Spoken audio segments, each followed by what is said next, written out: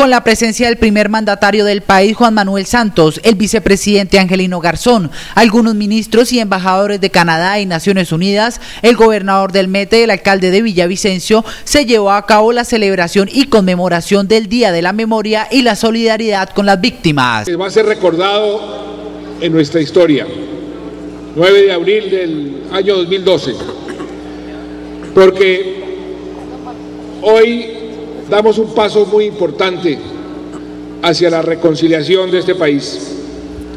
Hoy estamos conmemorando lo que se ha llamado legalmente el Día Nacional de la Memoria y la Solidaridad con las Víctimas.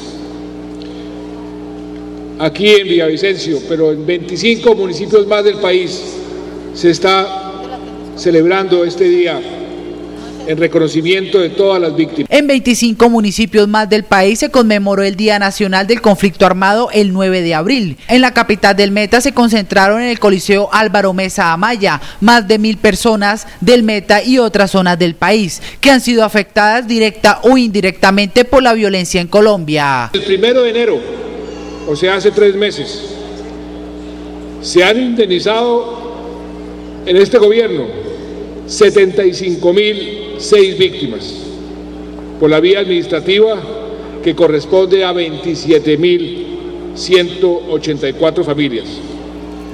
Nuestro compromiso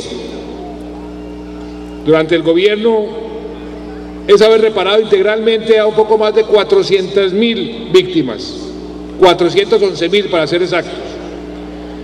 Esto equivale a 139 mil solicitudes o a 140 mil familias. El principal objetivo de la ceremonia fue honrar la memoria y hacer un reconocimiento de los hechos que han victimizado a los colombianos y colombianas, por lo que en el acto se presentaron víctimas de varias regiones del país. Que la nación tiene que ir de la mano de los territorios y en esto también hemos venido trabajando. Se han instalado en estos tres meses y están sesionando 32 comités de justicia transicional y se ha acompañado a 700 municipios en la elaboración de sus planes de desarrollo para que integren la atención a las víctimas, la reparación a las víctimas en sus planes de desarrollo. Eso es muy importante, que eso quede consignado en los planes de desarrollo de todos y cada uno de los alcaldes. Desde el día anterior se desplegó un amplio operativo de vigilancia en los alrededores del complejo deportivo y en toda la ciudad, con la participación de todos los organismos de seguridad para garantizar la tranquilidad y el orden público durante la realización de la ceremonia.